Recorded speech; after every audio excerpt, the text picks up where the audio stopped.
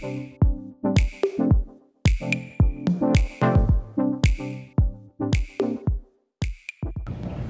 my name is Dr. Andrew Lipton. And I'm Ashley Rhodes, nurse practitioner. We're here at Narberth Family Medicine today, and we'd like to talk to you about stem cell therapy, something that we've been offering here for the last couple years and have been gaining lots of interest online, on social media, and I want to answer some questions you may have about it. Stem cells are the cells in our body that help us heal and repair. If we have an injury to our body, say we scrape our knee, the body, the first thing it does is send some blood cells there called platelets, and the platelets stop the bleeding. And as the platelets heal the bleeding and stop the body from bleeding out, they liberate some chemicals that tell the body, hey, there may be an infection here, and then white blood cells come.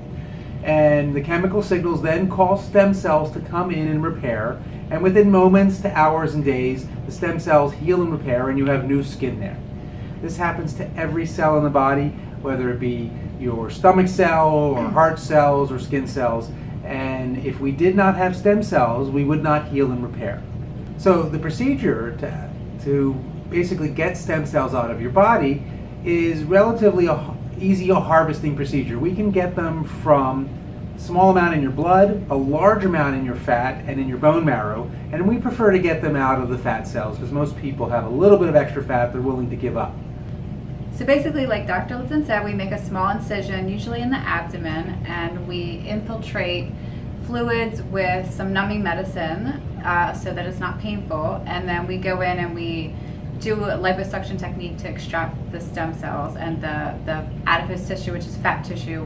And we have a whole procedure then in the lab that we extract the stem cells from the fat and then we can inject those stem cells anywhere in the body that you, the patient would like for to promote healing. We can give it IV um, or into any joint or tissue.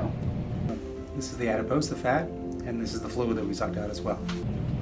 A lot of patients ask, does it hurt to, to get stem cells?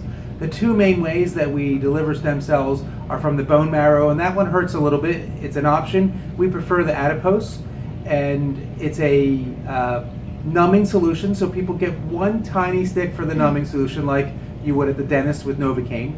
And after that, most of the patients undergoing it basically tell us they feel a little tugging and pulling, and the whole procedure maybe takes 10 or 15 minutes.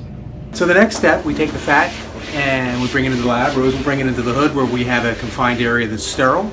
Uh, and so she can put her hands in there that are sterile and the air pushes out so nothing blows in. So if you cough her, dust doesn't go in. It's a sterile hood.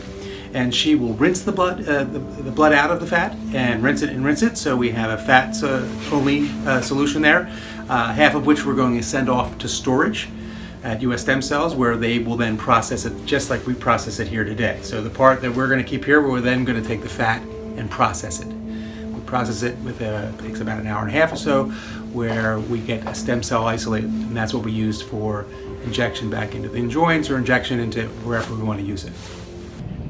A lot of patients ask, well, what's the main way that we use these stem cells? Our most common patients are patients that have degenerative issues or neurodegenerative issues, uh, sometimes cosmetic issues, uh, most typically for cosmetic, uh, face and scalp, uh, for hair regrowth. Uh, we've done treatments in, uh, you name the joint, we've treated it. The joint injection takes a few moments to perform and we can put a small amount of stem cells into multiple joints or we can deliver it back intravenously to affect the organs including the heart, the lungs, the liver, and kidney. So once we establish the stem cell isolate, depending where we inject it, those stem cells, if we put them into skin, are going to turn into skin. If we put them into muscle, they're going to turn into muscle. So ideally, we inject them directly into the injured area, and the body then takes that stimulus and turns it into the type of cell that you need right there. What do you think? What, as far as the procedure of, uh, was it painful? Yeah. Yeah. Yeah, it wasn't painful, no. There's a couple points where you said ouch. Yeah, a couple points, mm -hmm. but they weren't so bad. Just not knowing what it is. Right, so we yeah. try to let people know, and that's kind of the purpose of mm -hmm. interviewing. Mm -hmm. You talked me through everything, that was nice. I knew what was going on gave me some time limits, you know, a few more minutes of this, a few more minutes of that. So, you know, puts you more at ease. How do you feel right now? Perfect.